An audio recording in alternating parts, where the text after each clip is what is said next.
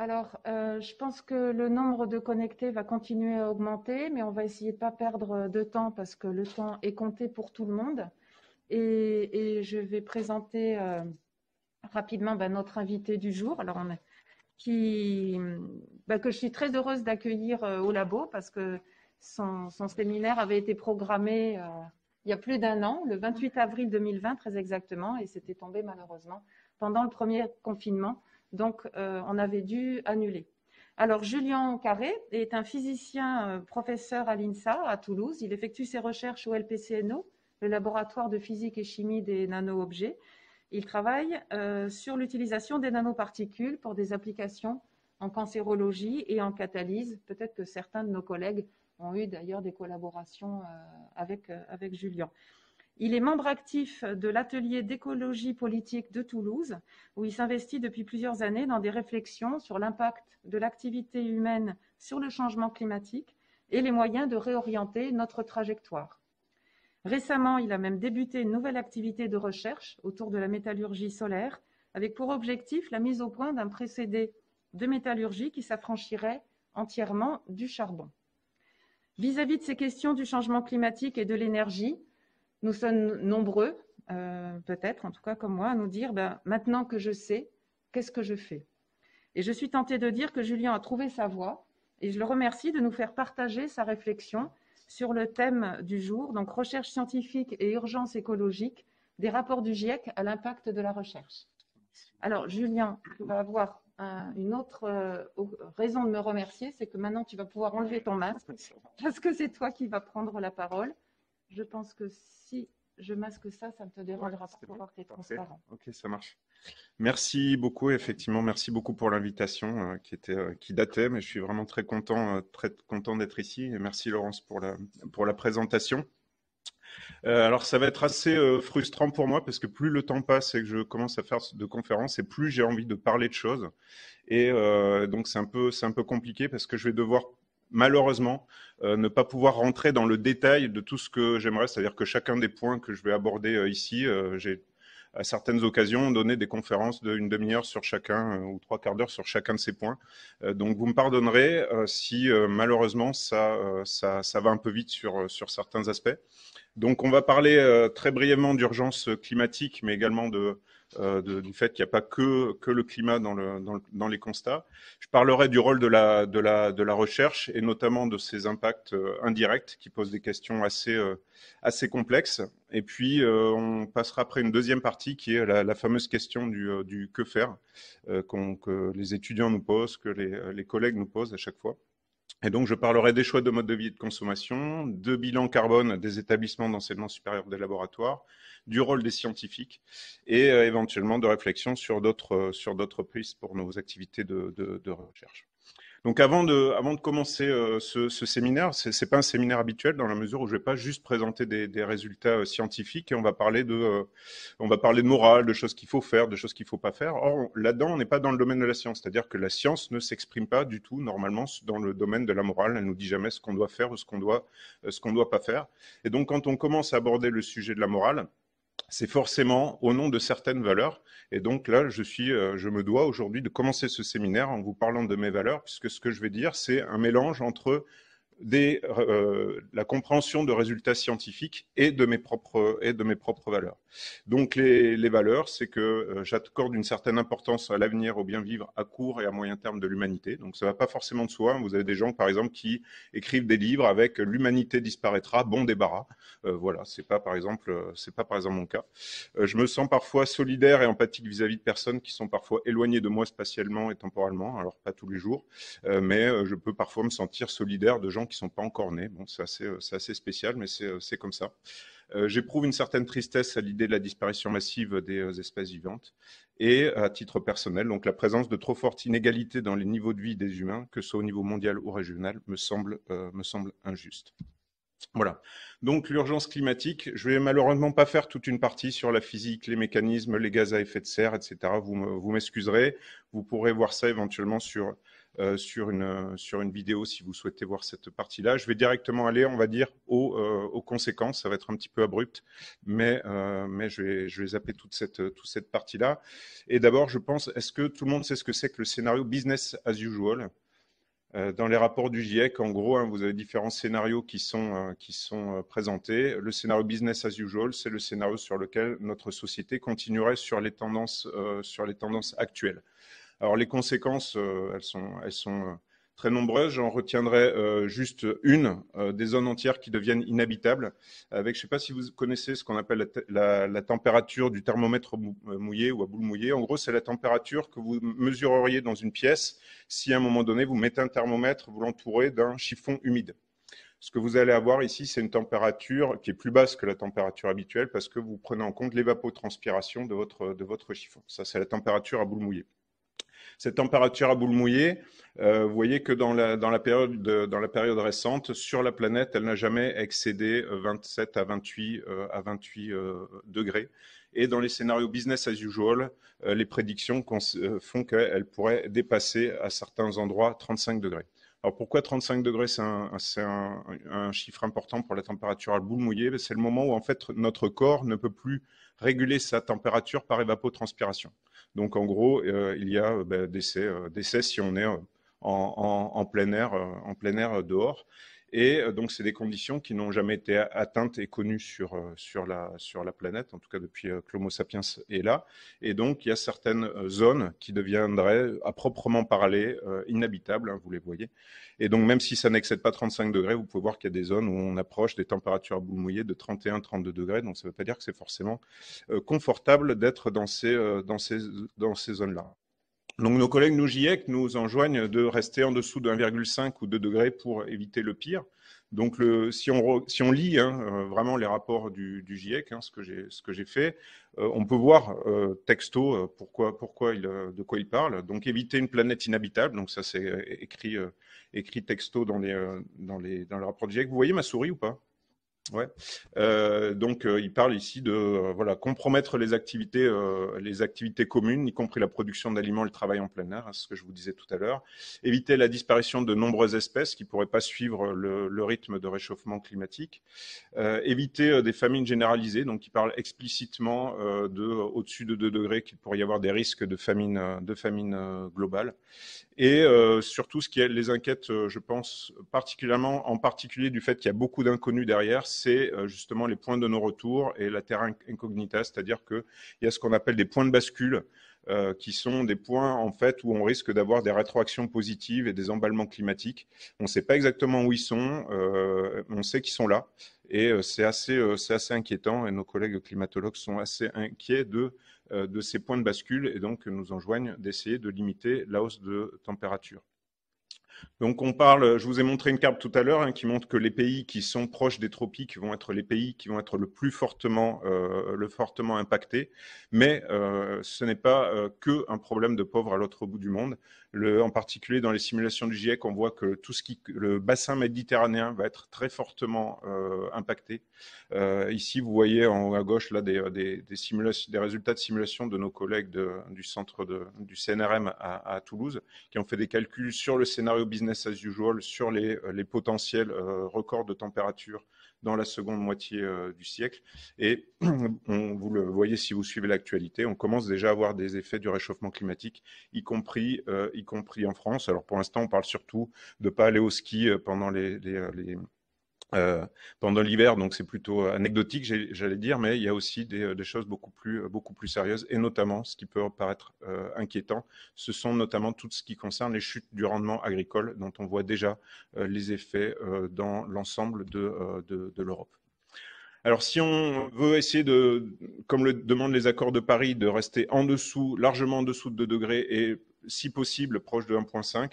Euh, les, euh, les, les, scénarios du, GIEC sont, euh, sont, assez clairs. Hein. Vous voyez ici quelques, chiffres. Moins 93% d'émissions en 2050, une décroissance de la consommation énergétique globale, des, de l'électricité renouvelable, une fermeture quasi immédiate des centrales à charbon, une sortie assez rapide du pétrole et du gaz et une baisse mondiale de la consommation de bœuf pour éviter les émissions de, méthane. Donc des scénarios qui sont en rupture avec notre trajectoire, notre trajectoire actuelle, hein, comme on peut le voir ici sur ce graphe, où ici c'est notre euh, c'est notre, euh, voilà, notre trajectoire actuelle. Et plus on attend, en fait, plus la pente euh, qu'il va nous falloir suivre est abrupte.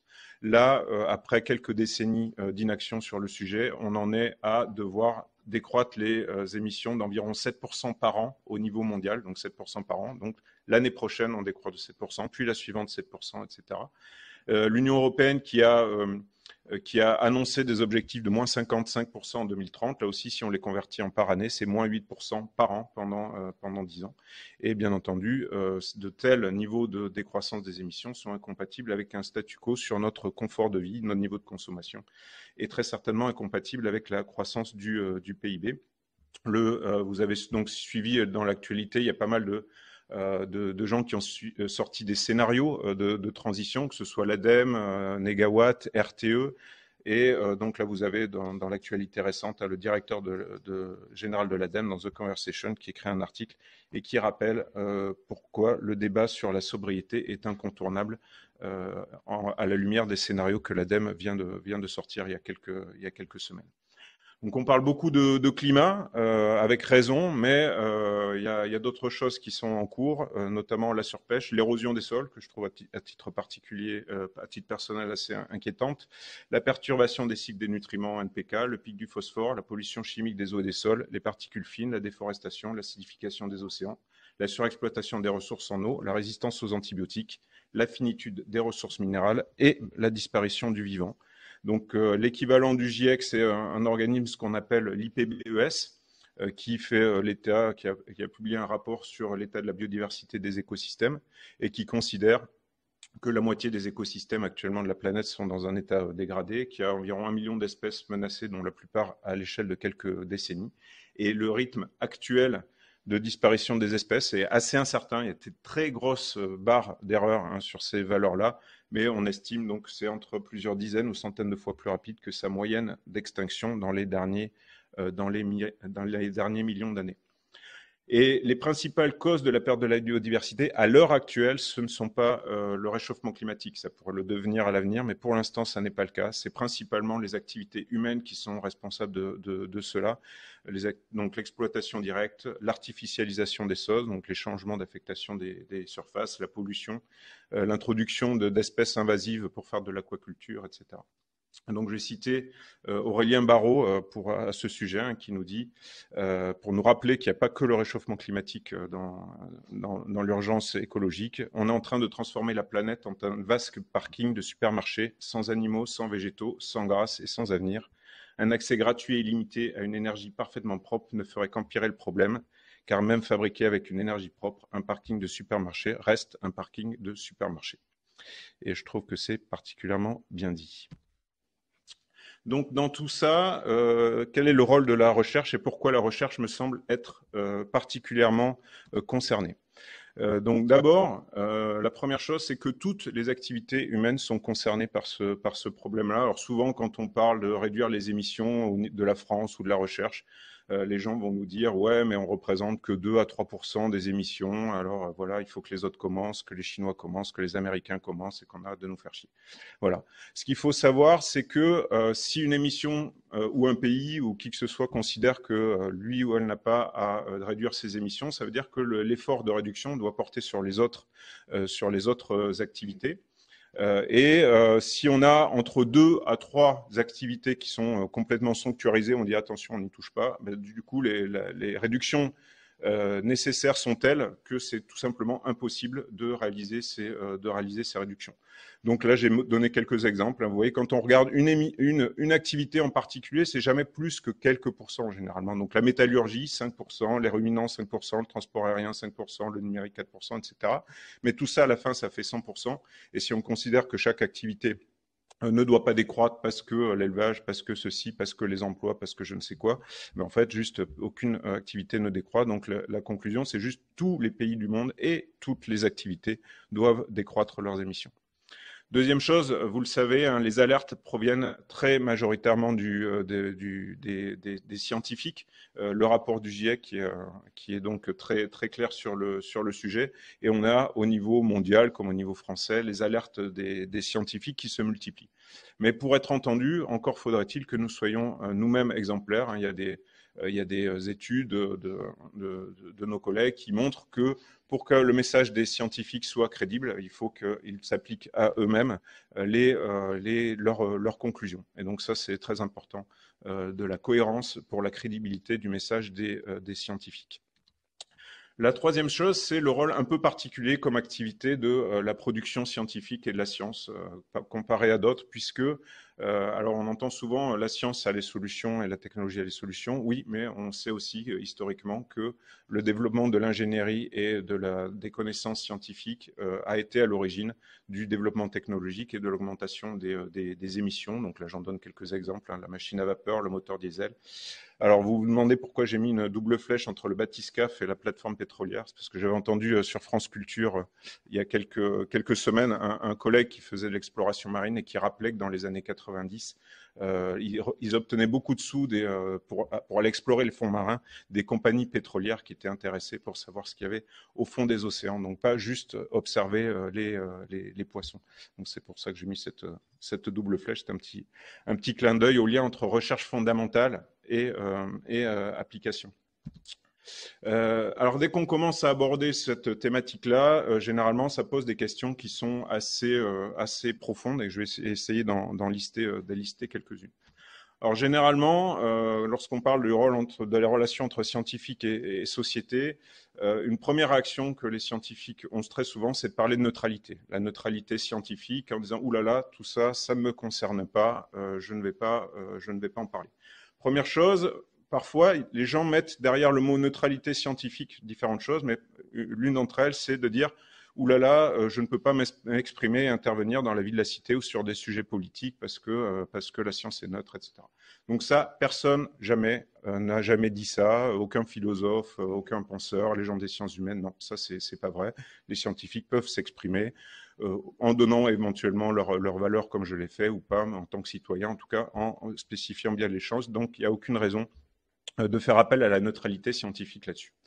Après, il y a quelque chose de plus complexe, de plus débattu, qui est de dire que la science est neutre, qu'en fait, nous, on fournit des outils et qu'on n'est pas du tout responsable de tous les usages qui peuvent, euh, en être faits par, la, par la société. Donc ça, ça nécessite de, voir un petit peu plus euh, bah, justement ce qu'on appelle la neutralité scientifique, ce que les, philosophes, les sociologues ont dit euh, à ce sujet, euh, à ce sujet-là. Alors, il y a effectivement des choses qui peuvent être neutres dans le processus de production scientifique. Ce qui peut être neutre, c'est le processus de production lui-même de la connaissance. C'est-à-dire, en gros, quand vous tracez vos courbes, quand vous, vous affichez vos graphes, vous récupérez vos données, vos valeurs euh, personnelles ne doivent pas intervenir dans ce processus. Et ça, c'est quelque chose qui est possible, souhaitable, et il n'y a pas de souci là-dessus. Par contre, le truc, c'est que tout ce qui est en amont et tout ce qui est en aval de ce processus n'est pas, euh, neutre, notamment le choix des thématiques et le choix des méthodes. je vais vous donner un exemple. Euh, mettons que vous, ayez décidé de vous, intéresser à la vie des chevreuils dans les, dans les Pyrénées, par exemple. Donc déjà, tous les sociologues pourraient se faire un malin plaisir à essayer de comprendre pourquoi est-ce que vous avez choisi d'étudier euh, les chevreuils et pas les, et pas les papillons. Qu'est-ce, que, qu'est-ce qui a fait que vous avez choisi les chevreuils? Est-ce que c'est un appel à projet? Est-ce que ceci? Est-ce que cela? Etc. etc. Puis ensuite, vous avez le choix des méthodes. C'est-à-dire que vous pouvez tout à fait dire, ben, je vais prendre, pour étudier les chevreuils, je vais prendre une paire de jumelles, un carnet, un, crayon, puis je vais aller me, me, poster au sommet d'une palombière qui est déjà présente, et puis je vais noter ce qui se passe, et puis je vais essayer d'en déduire des choses sur le comportement des chevreuils. Ça, c'est une première possibilité.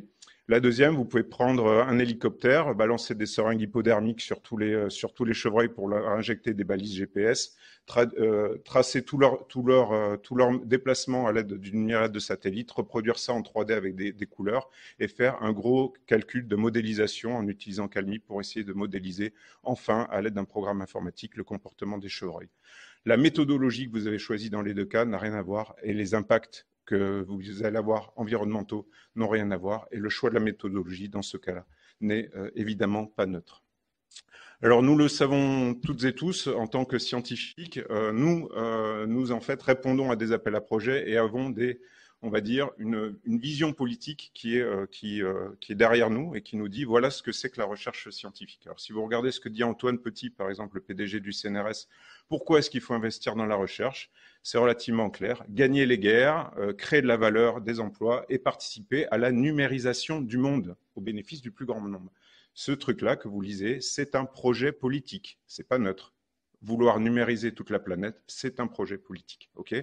Ici, vous voyez ce commissaire européen qui nous dit que l'investissement dans la recherche, c'est euh, participer quelque part à la guerre économique, être concurrentiel par rapport aux autres, aux autres pays. Donc, c'est la science au service de, euh, de, la guerre économique.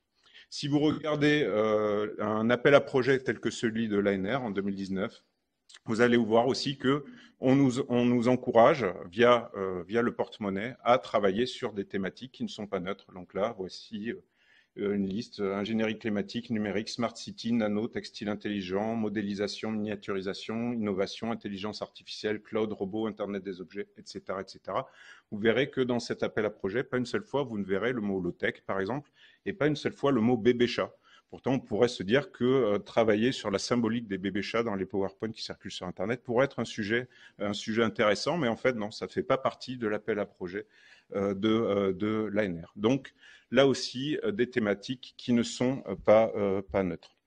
Et donc, un grand nombre, alors je ne voudrais pas dire la totalité, mais un grand nombre de thématiques qui sont favorisées par les agences de financement conduisent de manière directe ou indirecte, ou en tout cas cherchent à augmenter la consommation énergétique, à alimenter la croissance économique, elles renforcent nos dépendances aux machines et contribuent à détruire le lien social. Sur ce dernier point, c'est très bien documenté par nos collègues des sciences humaines.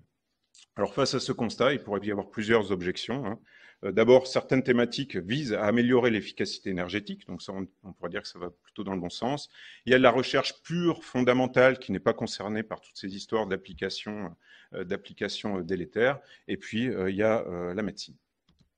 Alors, les, euh, certaines thématiques visent à améliorer l'efficacité énergétique, donc ça c'est tout à fait vrai. Le problème, hein, on le sait depuis, euh, depuis la révolution industrielle, c'est ce qu'on appelle l'effet rebond, le paradoxe de Jevons, qui fait qu'en pratique, dans notre société, euh, toute, euh, toute, amélioration de l'efficacité énergétique se traduit par une augmentation de la consommation énergétique globale. Les, les, exemples sont, euh, très nombreux, hein, je, pourrais en parler, je pourrais en parler pendant assez longtemps. L'exemple le plus récent, on va dire, c'est le numérique. Nous n'avons jamais été aussi efficaces en matière de numérique, avec une diminution de l'énergie nécessaire pour le stockage ou la transmission des données d'un facteur 2 tous les deux ans.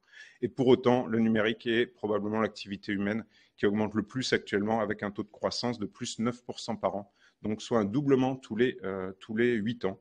Vous savez pourquoi. Un usage qui se répand, des applications qui sont de plus en plus puissantes, des nouveaux produits, des nouveaux euh, marchés. Autre exemple, la mobilité. Pareil, nous n'avons jamais été aussi efficaces en termes d'utilisation de l'énergie pour bouger. Et pourtant, aux États-Unis, euh, la, mobilité moyenne des Américains est en croissance exponentielle depuis les années 1880, avec un taux de croissance de plus de 2,7% par an. Si on développait par exemple le véhicule autonome, comme certaines personnes le disent et euh, osent même dire que c'est pour des raisons euh, écologiques, ça augmenterait bien entendu la mobilité. Les enfants, euh, les seraient mis dans des véhicules autonomes pour aller faire leurs activités l'après-midi. Les personnes âgées se déplaceraient beaucoup plus, on ferait des trajets de nuit, etc. etc. Donc, bien entendu, on aurait un effet rebond là aussi avec le développement du véhicule autonome. Et donc, ce qu'il faut voir, c'est que ce, cet effet rebond, c'est pas une grande loi de la physique ou euh, voilà un, grand truc universel. L'effet rebond, il apparaît, pour deux raisons. Euh, la première, c'est une abondance énergétique. Vous ne pouvez pas avoir d'effet rebond si vous, si vous n'avez pas la possibilité d'augmenter euh, votre, consommation, votre consommation énergétique. Donc nous sommes dans une société où si on a besoin de plus d'énergie, c'est facile, on creuse. Voilà. Donc en fait, l'effet rebond est possible à cause de ça, et c'est pas pour rien qu'on a que c'est depuis la révolution industrielle que l'effet rebond a été, euh, observé et mis, en, et mis, en, évidence. Deuxième chose, il faut une absence de contrôle sociétal sur les technologies qui sont mises en œuvre et ou sur la consommation énergétique globale de la, euh, société. Un contre-exemple, euh, les Amish, hein, chers à notre, président, qui eux contrôlent l'effet rebond. Pourquoi? Parce qu'ils ont mis en place des structures sociétales pour décider de quelles sont les technologies qui sont euh, introduites dans leur société ou pas. En l'absence de, euh, de, telles, euh, de telles structures politiques, l'effet rebond, l'effet rebond est présent. Donc, deuxième objection potentielle, c'est celle liée à la présence de connaissances pures, donc de recherche fondamentale qui n'a pas d'application. Donc on peut en trouver quelques-unes, effectivement, si vous regardez l'astrophysique ou la physique des particules ou éventuellement même certaines vraiment recherches très éloigné des applications. C'est effectivement le cas. Néanmoins, euh, ce qu'il faut regarder dans, tous ces cas-là, c'est que pour poursuivre euh, notre, nos, recherches, ben, ça nécessite de plus en plus de moyens, de plus en plus d'énergie. Donc là, j'en ai mis quelques exemples avec euh, l'augmentation de l'énergie nécessaire dans les accélérateurs de particules, la taille des télescopes, etc. Mais dans n'importe quel domaine de recherche fondamentale, si vous commencez à regarder euh, ces trucs-là, vous allez voir que oui, pour poursuivre vos recherches, vous avez besoin de plus en plus de matériel, de plus en plus euh, d'énergie. Et finalement, on le sait bien dans la recherche scientifique, il n'y a pas de limite à la connaissance en fait. Dès qu'on a trouvé un truc, en fait, on sait bien, on a trouvé un résultat, ça nous a ouvert combien? Quatre nouvelles questions, et donc on sait qu'on peut poursuivre ça, je veux dire, pendant des siècles. Le truc, c'est que du coup, est-ce que la croissance de la connaissance euh, peut être infinie dans un monde euh, aux ressources finies? Et en particulier, vu euh, les conditions actuelles d'urgence écologique, c'est une, question qui mérite, de mon point de vue, d'être posée. Et donc, ce constat, il, rejoint quelque chose qui est très bien connu en, économie, hein, qu'on appelle les rendements décroissants, c'est-à-dire que si vous voulez poursuivre une, une, activité, au bout d'un moment, vous allez devoir mettre de plus en plus euh, d'énergie euh, ou de temps de travail pour des, euh, progrès ou des, outputs de plus en plus faibles. Hein. Donc, par exemple, vous pouvez découvrir l'électron peut-être en émettant 1000 tonnes de CO2. Et par contre, pour découvrir le boson de Higgs, il va falloir juste, pour construire le, le, détecteur, 400 000 tonnes de, de CO2. Dans le domaine de la médecine hein, aussi, si vous voulez augmenter l'espérance de vie de 30 à 40 ans, bah, peut-être que euh, quelques, euh, quelques outils chirurgicaux, du savon, de l'hygiène, un peu d'alcool, tout ça, ça peut, déjà augmenter considérablement euh, l'espérance de vie. Par contre, si vous voulez passer de 70 à 80 ans, mais il va vous falloir des scanners, des IRM, des chimiothérapies, etc., etc. Donc beaucoup plus, beaucoup plus d'énergie. Et donc les rendements décroissants, il y a des études là-dessus hein, qui montrent que la recherche scientifique, comme tous les domaines, est, est soumise au rendement décroissant.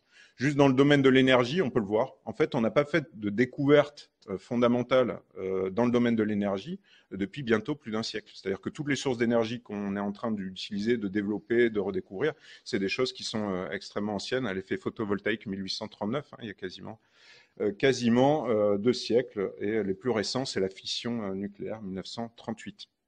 Donc la question se pose, et pour moi c'est une vraie question, c'est est-ce qu'on continue à trouver, en gros, en tant que scientifique, uniquement parce qu'on a une croissance exponentielle de nos, euh, euh, besoins, enfin de notre consommation énergétique? Et en gros, si on avait une énergie constante, voire décroissante, est-ce qu'on arriverait à continuer euh, nos recherches? Et en troisième objection, c'est la médecine. Alors bien entendu, dès qu'on parle de décroissance énergétique et de ces enjeux-là, évidemment, à chaque fois, euh, le thème de la médecine euh, revient dans, la, discussion. Donc évidemment, on est, euh, on est, je crois, toutes et tous contents d'avoir une espérance de vie de, l'ordre de, de, de, 70 ans. Il faut juste avoir conscience que ceci a été dû, et une augmentation considérable de l'espérance de vie a été observée depuis la révolution industrielle. Donc euh, c'est euh, grâce à euh, cette abondance énergétique et notamment fossile que l'on peut avoir cette espérance de vie. Et la question, c'est toujours à quel prix pour les, à la fois pour les générations futures, mais également, si on ne parle pas que du réchauffement climatique, mais aussi pour les autres espèces, puisque tous ces, matériaux, cette énergie se fait aussi au détriment du reste du, vivant. Et pour moi, ça pose des questions qui sont vraiment extrêmement, pour moi, très intéressantes. C'est euh, qu'est-ce que pour, à quoi pourrait ressembler une médecine low-tech ou low-énergie euh, À quoi ressemblerait-elle et avec quelles conséquences euh, sur l'espérance de vie? En gros, qu'est-ce qu'on pourrait espérer d'une d'une médecine qui soit sobre en, énergie? Ah. Les animations. le, euh, dernière chose dont j'aimerais parler, hein, c'est le, mythe culturel ou la culture euh, dans laquelle nous baignons euh, depuis tout petit. Hein. Moi, le premier, j'ai été biberonné à Sciences et Vie Junior, à, la recherche, etc. quand je regarde des fois les, BD que je lis à, mes enfants, il y a tout un, imaginaire qui est derrière, qui est techno, techno-optimiste. Et avec ce mythe-là, je dirais, l'histoire de l'humanité, c'est l'histoire d'une complexification de nos technologies qu'on va également appeler le progrès et qui a conduit à une amélioration continue des conditions de vie des humains. Donc première chose, c'est que déjà historiquement, quand on, quand on regarde ce qui s'est vraiment passé, c'est pas forcément toujours le cas. C'est-à-dire qu'il y a eu de nombreux exemples dans l'histoire de l'humanité où la complexification technologique s'est au contraire euh, accompagnée d'une diminution des, conditions de vie. La première, très bien documentée par les archéologues, c'est euh, l'agriculture, par exemple. Lors de la révolution industrielle aussi, euh, on a une augmentation considérable de la, complexité, mais au détriment de la santé, des conditions de vie des, travailleurs, des, des travailleuses. Deuxième question, deuxième chose, c'est que généralement cette vision, elle est très occidentalo-centrée. C'est-à-dire que oui, effectivement, nos conditions de vie se sont améliorées euh, au prix généralement euh, euh, de, l'exploitation des ressources et des travailleurs et travailleuses d'autres pays. Donc, et progrès pour qui hein, Si l'on pense par exemple à la colonisation des, États-Unis, est-ce que c'est un progrès pour les, Amérindiens La disparition des espèces actuellement, est-ce que c'est un progrès pour eux, etc. Donc ça pose toujours la question de qui parle au nom de qui dans, cette, dans cette histoire. Après, le truc, c'est qu'on est en train de, on ne connaît pas la fin de l'histoire. Euh, la fin de l'histoire, moi je la connais pas, je crois que personne ne la, ne la connaît. Euh, on ne sait pas, est-ce que euh, finalement on va vers une ère d'une planète qui est inhabitable avec la fin de la civilisation actuelle? Donc ça, c'est, on va dire, l'imaginaire effondriste. Est-ce qu'au contraire, on va aller vers, vers une civilisation qui va faire de l'ingénierie climatique, conquérir la planète, etc., au prix très probablement, hein, je vois pas comment ça pourrait être autrement, d'une disparition euh, du, du, vivant sur Terre, mais pas forcément de la vie des humains. Ou bien est-ce qu'on va vers quelque chose qui serait une acceptation des limites planétaires avec euh, la fin de la fin de l'ubris Et probablement que suivant la, suite de la suite d'histoire ou la fin de l'histoire, la période que nous vivons actuellement pourrait être vue de manière extrêmement différente. C'est-à-dire que si par exemple on va effectivement vers, euh, vers l'ère de la planète inhabitable, euh, je ne pense pas qu'on verrait euh, la, période qui est en train d'arriver comme quelque chose qui soit vraiment un, progrès, alors qu'au contraire, dans un imaginaire techno-futuriste, euh, évidemment, on dirait tiens, c'est le début, c'est le début du nouvel ère.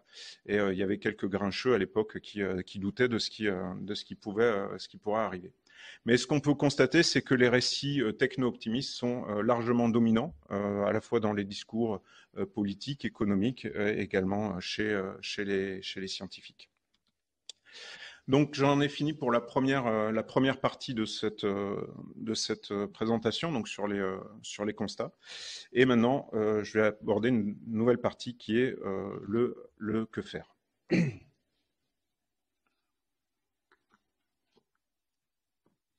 Donc pour le que faire, je me suis focalisé sur que faire à titre individuel, c'est-à-dire qu'est-ce qu'on peut faire nous, euh, à notre échelle avec ce petit euh, graphe que j'espère que vous apprécierez, avec deux axes. Un premier qui est le, des changements du règle du jeu et le deuxième qui est un changement euh, au sein des acteurs eux-mêmes. Et deuxième axe, l'intérieur du système et l'extérieur du système. Donc première chose par laquelle on pourrait, on peut commencer, c'est euh, en tant qu'acteur à l'intérieur d'un système, c'est tout ce qui va concerner l'évolution du comportement des acteurs, que ce soit les citoyens, les politiques, les entreprises, les travailleurs et les travailleuses. Par, euh, et, donc dans ce, dans ce domaine-là, euh, bah, on, peut, on peut influencer nos trajectoires par des choix de consommation, mais aussi par des choix dans, dans, notre activité professionnelle ou parfois même de notre activité professionnelle. Et puis on peut essayer aussi de changer les comportements d'autres acteurs. Donc on peut faire de l'information, du lobbying en direction euh, bah, d'autres acteurs, d'autres citoyens, etc. Alors ça, on est à l'intérieur du système et euh, généralement, on peut se dire, bon, c'est bien tout ça, mais les acteurs euh, sont soumis à des, règles et ils ont une marge de, liberté au sein du système qui est limitée par les lois, les règlements, les normes, etc. etc. Donc en fait, ce qu'il faut en plus ou à la place, c'est changer les règles du jeu. Donc changer les règles du jeu, on va être ici et on va commencer à essayer de parler de changement de loi, de réglementation, de la taxe carbone, etc. Donc là, à titre individuel, qu'est-ce qu'on peut faire? Ben, S'engager politiquement, euh, faire du lobbying en direction des gens qui, eux, sont engagés euh, politiquement, ou essayer d'intervenir dans le débat public pour orienter euh, la trajectoire et la réglementation, les lois, etc. etc. Après, ce qu'on peut se dire, c'est ouais, c'est bien sympa tout ça, mais le système il est vraiment trop inerte, ça va pas assez vite. Il faut faire autre chose, il faut faire des choses à l'extérieur du système. Donc c'est euh, ce que font euh, beaucoup d'associations, la sensibilisation, les actions locales, c'est sortir de la sphère marchande et puis euh, bah, construire un système un petit peu alternatif avec d'autres valeurs, etc., etc. Donc il y a, pas mal de gens qui font, qui font ça. Et puis, il y a la, quatrième possibilité qui est de dire, bah, finalement, ce système-là ne, va pas bouger si on ne met pas de pression, euh, de pression très forte euh, sur lui, et euh, ces pressions ne peuvent pas être exercées depuis l'intérieur du système, il faut le faire depuis l'extérieur, et donc là on va être sur des positionnements en termes de désobéissance civile, les aides, les actions directes, etc. etc. Voilà. Donc après, je, crois que c'est vraiment à, chacun et chacune dans ce paysage-là de se positionner, de voir, de voir ce qui, ce qui lui, lui ou lui correspond. Euh, sachant que je ne pense pas qu'il soit forcément utile de débattre pendant des heures et des heures, savoir qu'est-ce qui est utile, qu'est-ce qui est le plus efficace, etc., etc.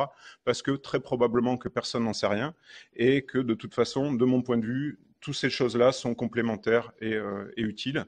Donc j'aurais envie de dire, ne débattons pas trop et, euh, faisons.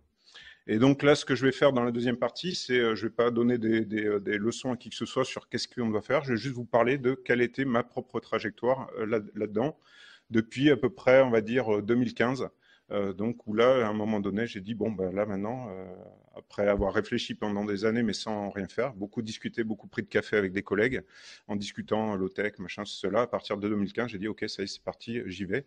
Et donc, je vais juste vous parler de différentes choses. Donc, je ne parlerai pas aujourd'hui de désobéissance civile, on pourra en parler off the record si vous voulez, euh, mais je vais vous parler du, reste, les choix de consommation, ce qu'on peut faire dans notre sphère, ce que j'ai fait dans la sphère professionnelle, etc. Euh, sensibilisation et intervention dans le, euh, dans le, débat, dans le débat public. Donc on va commencer par ce que ce qui est généralement le, plus, j'allais dire le plus simple, c'est pas forcément, mais les choix de mode de vie et de, et de consommation. Donc vous connaissez peut-être déjà euh, probablement ce graphe sur l'empreinte carbone des Français. Donc là, c'est un, un, graphe qui date un peu. Là, on est à 12 tonnes par an. Euh, ils ont refait les calculs récemment au niveau du, ministère du Développement durable. Euh, et on serait plutôt, euh, en refaisant les calculs, aux alentours de 10, euh, de 10 tonnes ou 11 tonnes. Alors j'ai une petite question pour commencer. Qui a déjà entendu parler de cette étude de carbone 4 que je vais lire ici parce qu'elle est importante? Euh, Donc même avec un comportement individuel proprement héroïque, c'est-à-dire l'activation quotidienne et sans concession de tous ces leviers, un Français ne peut espérer réduire son empreinte de plus de 2,8 tonnes par an, soit environ 25% de l'empreinte carbone annuelle. Est-ce que vous avez déjà entendu ce truc-là repris par des médias, dans des journaux, etc. Non, jamais. Ok. Bon, c'est quelque chose qui a été, euh, qui a quand même été euh, assez, assez repris de mon point de vue, mais évidemment, euh, j'ai pas forcément, j'écoute, je lis un certain nombre de choses que à, ce sujet qui sont pas forcément dans le domaine public, mais j'ai l'impression que c'est quand même quand même quelque chose qui a été, euh, qui a été, euh, qui est rentré dans beaucoup de conférences que beaucoup de gens euh, citent, ce fameux 25% maximum de réduction de l'empreinte carbone. Les gens qui ont écrit ce rapport-là, enfin c'est pas un rapport, hein, c'est une petite, une petite brochure, avaient comme idée, quand ils l'ont écrit, de dire il n'y a que 25% qui sont possibles à l'échelle individuelle, le reste c'est de l'action collective, donc allons-y, il faut faire des mouvements politiques, etc., rentrer dans l'action, etc., etc. Sauf que généralement, ça a été repris de la, de la manière suivante, ça a été ouais, on peut réduire son empreinte carbone que de 25%, donc euh, bon, ça sert un peu à rien. C'est ce message-là qui a été euh, surtout qui a été surtout repris. Et donc, je vais essayer de, vous montrer pourquoi je suis pas d'accord en fait avec cette euh, avec cette brochure. Première chose, le français moyen n'existe pas. Voilà, c'est quelque chose qui n'existe pas. Première chose, quand on veut discuter de réduction d'empreinte carbone, c'est de prendre en compte les inégalités. Euh, vous voyez ici, ça euh, c'est la répartition des empreintes carbone en fonction des revenus, 10% les plus riches, 10% les moins riches, etc. Vous voyez qu'on a euh, des, variations entre 31 tonnes de CO2 par an et 3,8 tonnes de CO2 par an. Et si on dit juste, ben voilà, entre ces quatre catégories, si on regarde par exemple sur les 10% les plus riches, euh, décide de devenir une classe moyenne plus, ben voilà, c'est moins 60% déjà. La classe moyenne plus qui devient classe moyenne moins, c'est moins 40%, etc. Donc, de mon point de vue, on ne peut pas décemment dire, au vu de ce graphe, qu'on ne peut réduire son empreinte carbone que de 25% quand on a des écarts de 1 à 8 sur les empreintes carbone des, euh, euh, des, Français. Et donc, qui a repris ce discours sur les 25% Je vous laisse deviner. Les classes aisées, on l'a trouvé dans les journalistes, les chroniqueurs, etc. etc. Deuxième chose, euh, il y avait des hypothèses bon, qui étaient reconnues par les auteurs hein, quand on lisait les notes de bas de page, quand on lisait bien le rapport en fait avant de le reprendre. Euh, on voyait euh, qu'en fait il y avait certaines hypothèses qui pouvaient être discutables. Par exemple, pour l'utilisation de la voiture individuelle, ils ont juste dit bah, on va passer au covoiturage, mais il n'y avait pas de réduction d'usage ni de diminution de la catégorie de véhicules, par exemple. Pour le chauffage, c'était moins 20%, donc on était plus proche de l'économie d'énergie que de la forte sobriété. Et puis ce qu'il y avait aussi, c'est que ces 25%, c'était vraiment sans investissement. Euh, mais ils montraient dans leur étude qu'avec des investissements, dans euh, par exemple des pompes à chaleur ou des trucs comme ça, on pouvait atteindre les, les, les 40%. Et dernier point qui me gênait un petit peu euh, là-dedans, euh, c'était cette fameuse figure du héros.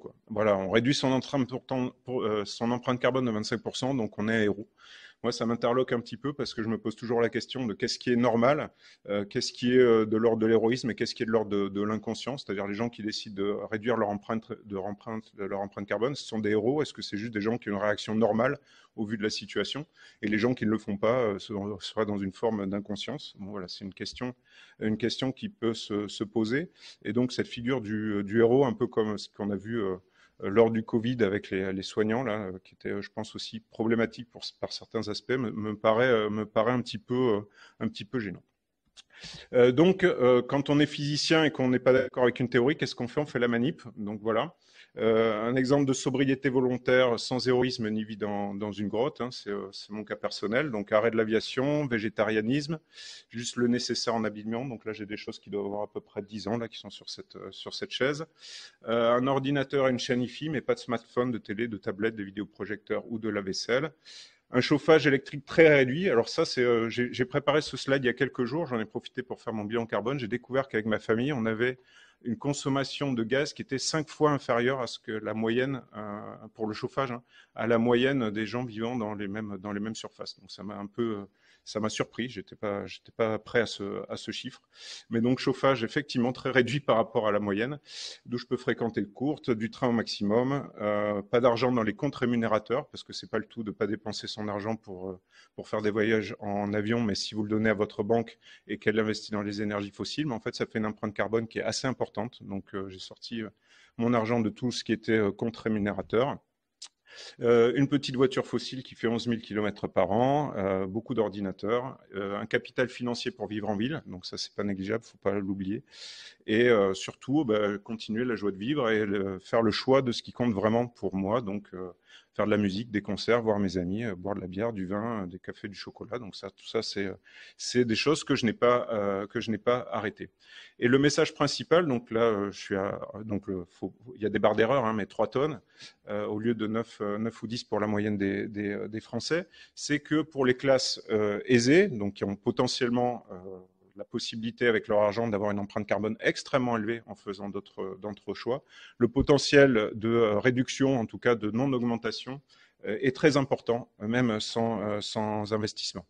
Donc évidemment, pour atteindre 2 tonnes, qui sont les fameux, les fameux objectifs pour la neutralité, euh, la neutralité carbone, euh, il faut des investissements nécessaires. Moi, j'ai pas du tout investi là. J'ai pas du tout, par exemple, acheté de voiture électrique. J'ai pas du tout changé ma chaudière à gaz, etc. Euh, il faudrait de la sobriété supplémentaire. Il y a encore des marges de, de progression et ou des décisions politiques, évidemment, pour atteindre les 2 tonnes. donc ça, c'est pour la partie, on va dire, personnel et ensuite il y a la, partie professionnelle. Qu'est-ce qu'on peut faire dans euh, notre, euh, dans notre métier?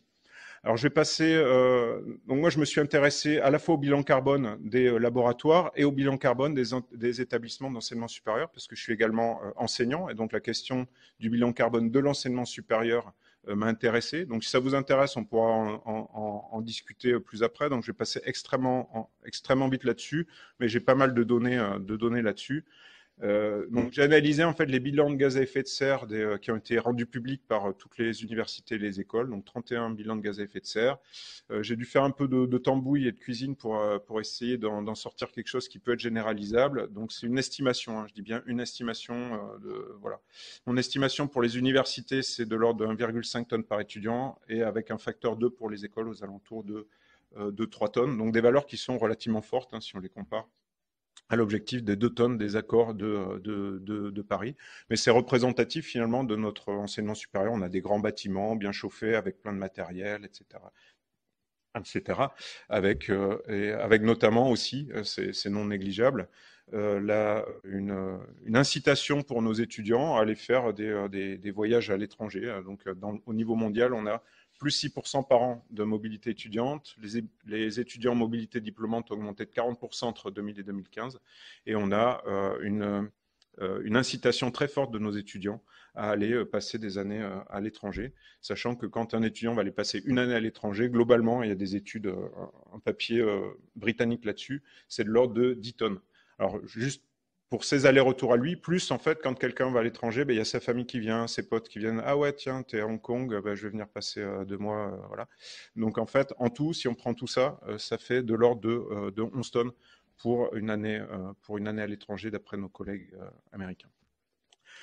Euh, donc là maintenant, je vais rentrer un petit peu plus dans le vif du sujet sur les bilans de gaz à effet de serre de la recherche. Donc je fais partie du collectif euh, Labo 1.5. Je ne sais pas si vous le connaissez ou vous ne le connaissez pas, mais c'est un objectif qui a euh, un collectif pardon qui a pour objectif de réduire l'empreinte carbone de la recherche et avec une approche, je dirais vraiment bottom bottom, c'est-à-dire de dire les personnes qui sont le plus à même de réduire leur empreinte carbone et de savoir ce qu'il faut faire, ce sont les labos. Euh, donc, euh, ils, incitent les gens et les laboratoires à faire leur propre bilan carbone et à prendre eux-mêmes les, euh, décisions au, niveau, local sans attendre des réglementations qui seront forcément arbitraires, coercitives, venues d'en haut. Voilà. Donc, saisissons-nous nous-mêmes de la question. Euh, donc, ce que je vais faire, c'est que je vais vous présenter juste quelques exemples de bilan carbone. Là aussi, j'ai fait un petit, euh, bilan de, certains bilans carbone qui ont été rendus publics par d'autres euh, laboratoires. ces bilans carbone ont été faits soit avec le logiciel qui a été développé par Labo 1.5 qui s'appelle le logiciel GES 1.5 qui est disponible. Vous pouvez l'utiliser euh, pour faire votre bilan carbone. Soit d'autres laboratoires ont utilisé d'autres méthodes. Donc le bilan carbone, ce qu'on appelle le bilan carbone à proprement parler, euh, c'est une méthode commerciale. Donc en fait, il faut, là je devrais parler de bilan de, bilan gaz à effet de serre. Et certains ont fait des, des petits programmes maison. Et euh, donc là, j'ai mis deux, petits icônes. Soit les, traînées des avions ont, été prises en compte ou pas été prises en compte. Les spécialistes comprendront de quoi, euh, je parle. Euh, voici deux exemples hein, pour commencer. TBI à, Toulouse, vous connaissez peut-être, hein, ils sont sur le campus de, l'INSA à, côté. donc leur thématique, c'est les biotech et les procédés. Euh, ils, ont, pris pas mal de choses en compte, sauf le chauffage. Il y a une erreur dans le, chiffre, donc il faut oublier le chiffre du chauffage. Et le total, c'est 4,8 tonnes par, euh, euh, personne, avec 3 tonnes, notamment, vous voyez ici ce graphe-là, c'est pour tout ce qui concerne les, achats. à noter pour les missions, donc principalement c'est du transport aérien, on est aux alentours de 0,5 tonnes par, par chercheur. Donc ça, c'est un chiffre qu'on retrouve également dans d'autres labos. Euh, un laboratoire de biophysique euh, à Paris. Donc là aussi, eux, ils ont compté euh, pas mal de trucs et ils sont à 4,8 tonnes au total, dont 2 tonnes ici pour les, achats. Vous voyez également ici, là, l'émission, on est aux alentours d'un petit peu moins un petit peu moins d'une tonne, un peu plus de, de chauffage, de l'électricité, de l'informatique, etc., etc. Et puis le bilan carbone de mon propre labo. Donc on fait de la chimie, de la physique expérimentale. On a une équipe de, chimie théorique qui fait des, euh, qui fait des calculs euh, et une équipe de, euh, de, bio. Donc ce que j'ai pas pris en compte, c'est les séjours synchrotron. J'en reparlerai juste, juste après. Et vous voyez ici, la, vous voyez ici le, le, bilan. Donc là, la partie calcul régional et national, j'en reparlerai après, c'est tout ce qui concerne justement l'utilisation des, des calculateurs régionaux ou nationaux. Le gros camembert, là, c'est les achats.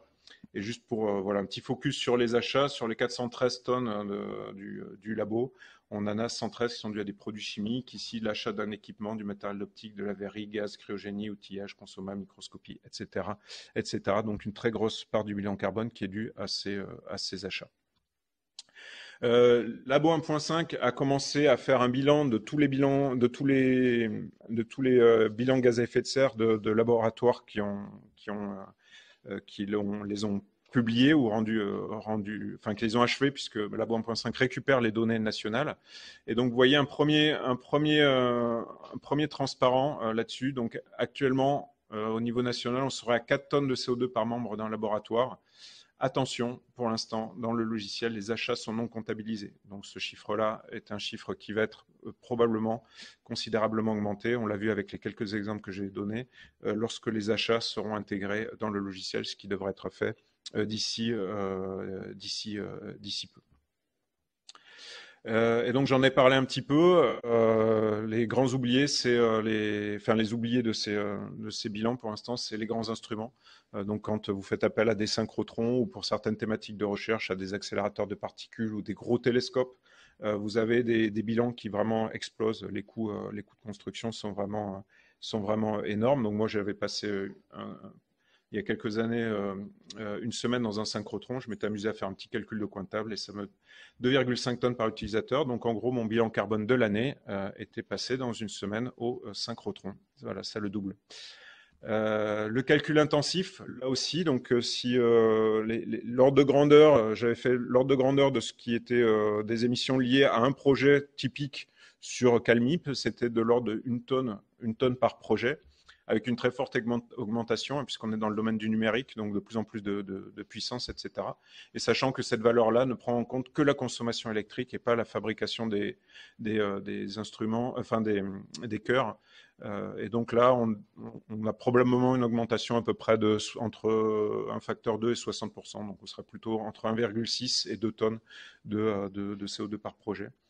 Euh, chez euh, nos collègues astronomes hein, qui sont euh, extrêmement gourmands en calcul, vous avez des, valeurs qui sont, parfois extrêmement importantes. 25 hein. tonnes de CO2 en Australie parce qu'ils ont une électricité qui est très carbonée, contrairement à, la France, ou 5 tonnes de CO2 par les astronomes allemands. Donc, ce qu'on peut avoir comme conclusion sur les impacts directs, c'est comme je vous l'ai dit, les achats qui peuvent être un poste très important. Dans certains labos, donc vous, vous n'êtes pas concerné, mais certains le sont, les labos d'océano, d'anthropologie, de géographie, qui peuvent avoir des missions sur le terrain qui peuvent être très importantes. Donc, ce pas des missions pour les conférences, mais les missions qui sont nécessaires à leur activité de recherche. Euh, certains laboratoires aussi qui sont assez euh, gourmands en conférences et collaboration. Donc, ça peut être dans certains laboratoires des postes assez importants. J'en ai vu quelques, exemples. Les grands instruments et le calcul intensif, j'en ai parlé. Donc là-dedans, euh, il y a des choses qui peuvent être réduites relativement facilement. Euh, par exemple, le transport aérien pour les conférences. Bon, euh, on peut faire des conférences en Europe en y allant en train. voilà, c'est pas pas un gros souci et ça n'impacte pas directement l'activité.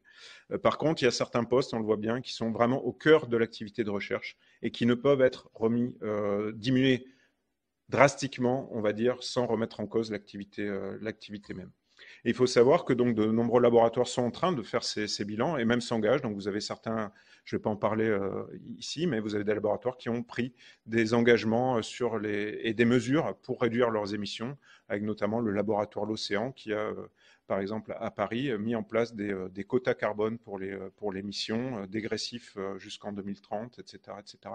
Donc il y a plein de choses qui sont faites. Vous avez l'IRIT, qui est un laboratoire pilote à côté, qui a mis en place qui a mis en place une, comment ils ont appelé ça euh, une ressourcerie informatique, c'est-à-dire un endroit où ils mutualisent tout, le matériel informatique plutôt qu'il y ait des, ordinateurs qui euh, traînent dans les placards au cas où il y a un stagiaire qui arrive, etc. Non, ils ont décidé de, mettre ça en place. Enfin voilà, il y a plein de choses qui peuvent être, qui peuvent être faites, mais bien entendu, il y a des limites, c'est-à-dire que quand on a des achats pour nos, des achats pour de consommables pour notre recherche, ben, on peut, il y a des choses qu'on ne peut pas réduire, pas réduire facilement.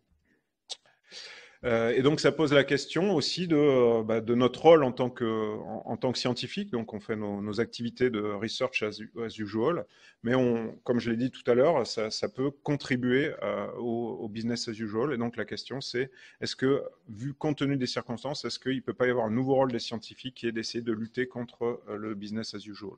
Et donc là, je vais parler un peu des activités de l'atelier d'écologie politique dont je fais partie.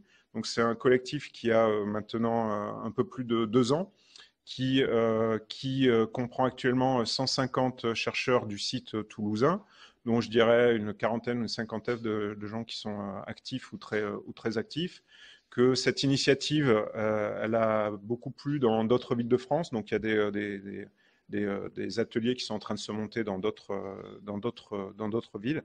Et je vais vous présenter un petit peu les, activités de ce qu'on fait. Euh, donc d'abord, euh, on, cherche à faire de la, sensibilisation, de la vulgarisation et, euh, à destination du grand public. Donc on organise des, séminaires très, réguliers sur différentes, thématiques. Ces séminaires sont, de mon point de vue, extrêmement intéressants. On essaie vraiment d'avoir des, intervenants et intervenantes de, de, de, grande qualité et vous pouvez, la plupart ont été filmés, donc vous pouvez les retrouver sur notre site. Euh, on a euh, également euh, un film qui a été fait par un, réalisateur toulousain à partir de ces, séminaires qui s'appelle L'âge de l'Anthropocène, qui est disponible gratuitement.